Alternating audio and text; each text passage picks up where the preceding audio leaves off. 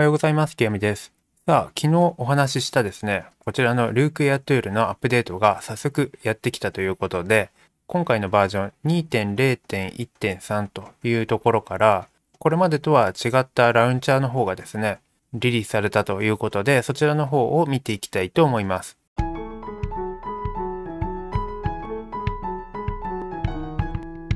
こちらのフライトシム .to の方からダウンロードしていただいて、ファイルの方を解凍するとですね、その中にですね、こういった形で Luke Airtool のラウンチャーというのが入っています。一番初めにこのアプリを立ち上げると、セッティングページに飛んでいると思いますけれども、まずはですね、こちらのホームの方に行っていただいて、この今プレイとなっているところがダウンロードという形のボタンになっていると思いますので、そちらからダウンロードをまずしていただくというふうになります。こちらのダウンロードが完了してからプレイというボタンを押すと AirTool の方にコネクトされるんですけれども、その前にですね、こちらのオーディオパックの方を選択していただくというところですね。で、すでに入れているんですけれども、この一番上 A320 カスタムということで、前回制作したですね、オーディオパックの方を収録していただいているということになっています。今はもうすでにこの緑のチェックマークが入ってしまっていますが、一番最初はですね、サムネイルの写真だけになっているので、そこをワンクリックするだけで、このカスタムオーディオを入れることができるということですね。で、これ以外にも、ブリティッシュエアウェイズの、これはアナウンスだと思いますけれども、こちらのカスタムオーディオも今回公開されているということになっています。今後ですね、徐々にこの音源については、リリースの数増えていくということなんですけれども、これまでのようにフライトシム .to の方にアクセスして落としてきたものをカスタムとして登録してっていうことを一切しなくていいということで非常に簡単に入れることができるようになっているというのがこのアプリのポイントというところですね。これ以外にもですね、シートマップだったりとかこういうところも非常に簡単にダウンロードできるようになっていて、例えば Airbus 320のシートプランということで、各航空会社のものがダウンロードできるようになっていますし、これ以外にも747、787というような形で、それぞれのエアラインを模擬したシートプランの方が、こちらも簡単にダウンロードできるということで、非常に簡単にカスタムしたものを AirTool の方に入れることができるということで、こちらの Look AirTool ラウンチャーという方ですね、ぜひアップデートして楽しんでいただけたらと思っております。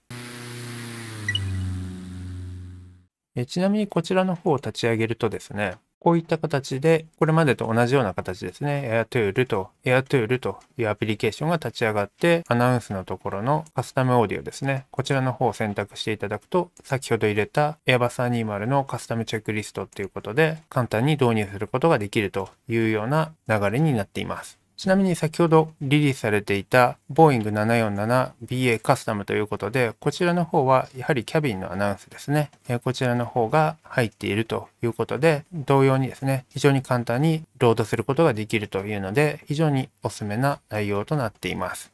えー、ちなみに昨日から音声の方ですね、アナウンスメントの方ばかりを紹介していますけれども、フライトセットアップという方でパッセンジャーシミュレーターですね、こちらの方もですね、非常に進化してきていて、以前一度紹介したことがありますけれども、フライトナンバーから始まって、フライトのタイプ、飛行機の型式っていうところを選んでいくと、実際のエアラインと同じようにお客さんを乗せてフライトする、まあ、そういった模擬的なことができるというですね、このパックスシムの方も楽しむことができるようになっていますので、合わせて見ていただければと思っております。ちなみにこちらのファンクションの方で先ほど紹介したシートプランの方ですね、使って実際のエアラインの配置と同じような形でですね、楽しむことができるようになっていますので、ぜひお好きな航空会社で試してみてはいかがでしょうか。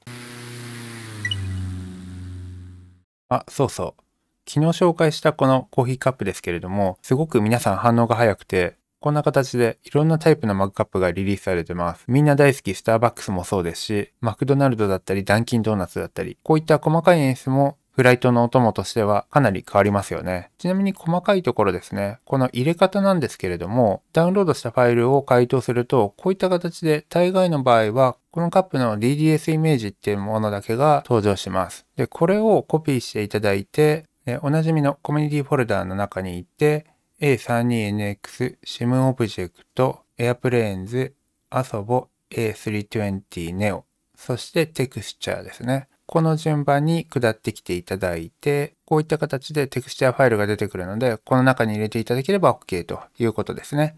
さあ、ということで、こちらコックピットの方に戻ってくると、先ほど入れたスターバックスのコーヒーカップの方に置き換わっているということになります。どうでしょう？細かいところではありますけれども、リアルな世界でもコーヒーを買ってきて、それを片手にですね、フライトシミュレーターを楽しむなんていうのもいいのではないでしょうか。ということで、2日間続けてのルークやトゥールの紹介という風になってしまいましたけれども、本当にあの時皆さんの後押しがなければ作っていなかっただろうっていうコンテンツからスタートして、こういった形で新しい試みがトライできるというところで、本当にありがとうございました。それからまた、この先ですね、こういった開発の側面からも、いろいろとこれまでいなかったような部分っていうのができると思っていますので、引き続きですね、チャンネルフォローしていただいて、毎朝の更新を見ていただきたいなというふうに思っています。もう本当に日々やりたいことだらけで、どこから手つけていこうっていう形で、かなり話題も飛び飛びになってしまっていて申し訳ない部分はあるんですけれども、もう少し春先ですね、落ち着いてきたところからは、ストーリー性のある日々の流れっていうところでやっていきたいなと思っていますけれども、今しばらくこういったスタイルでお付き合いいただければと思います。本日もご視聴ありがとうございました。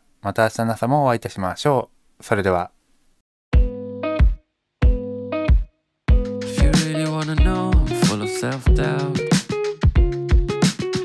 To be honest, it has never brought me down. No, no, no, no. I'm really glad I'm not walking around